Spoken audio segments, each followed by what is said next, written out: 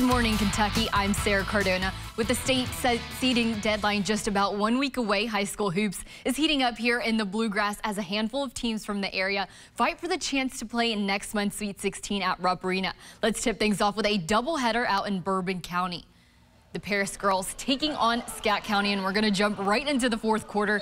Senior Jamie Cowan here with the and one bucket puts the Lady Greyhounds up 17. Cowan would go on to lead all scores in the game with 21. Scott County trying to fight back. Senior Malaya Moore gets the layup and one, but it wasn't enough. The Lady Greyhounds would go on to win big. The final score was 67 to 40.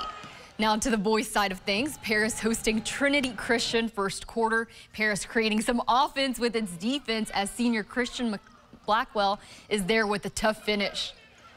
And later in the game, Greyhounds D forces Another steal, and then Trey Morrell goes all the way to the rack for the layup. He finished the game with 12, and the success would continue for the Greyhound senior guard. So Ryan Acorn here with the deep triple puts his team up six, and Paris goes on to pull away and get the win over Trinity Christian. The final was 84 to 61.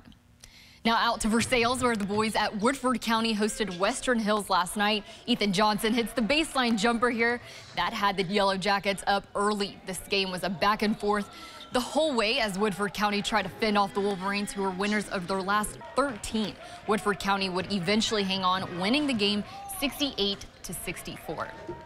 Into the college game now. Each week you can see Cason Wallace simply getting better and better right before our eyes. And again, this week he was rewarded with the SEC Freshman of the Week award, marking the star freshman's second week in a row with the honor. On Saturday, Wallace scored a team-high 20 points and added three blocks in the Wildcats' win over Florida. It's the third time this season Wallace has earned this honor. Assistant coach Orlando Antigua credits Wallace on being a sponge when he got to Kentucky, just soaking up all the knowledge he could from the older players on the team early on in the season, he would he wouldn't uh, he wouldn't say a lot. He would just listen, like good leaders do. And um, as he's gotten more comfortable in terms of his own role on the team, being able to communicate and um,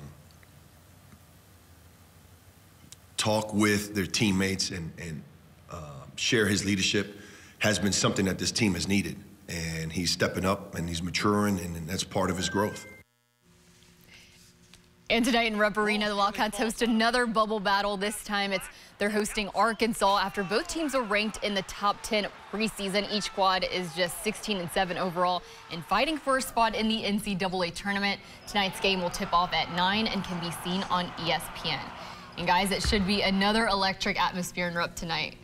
I know. Be, but I'm going to need electric shock to stay awake for it. I mean, I know. starts at 9. We all, truly, if you're an early riser like we are, newly, because Sara just joining us today for the first time on the morning show, so take and some I getting was used giving to. Her all I'm the, going to have to take a nap. I was, yeah. I was telling Sara all the positive things that come with working this shift. Literally right before this. It was wonderful. Today's literally her first day ever working a morning shift like this. And Lee goes, you ever worked this before? She goes, no. And he goes, it's awful. well, like,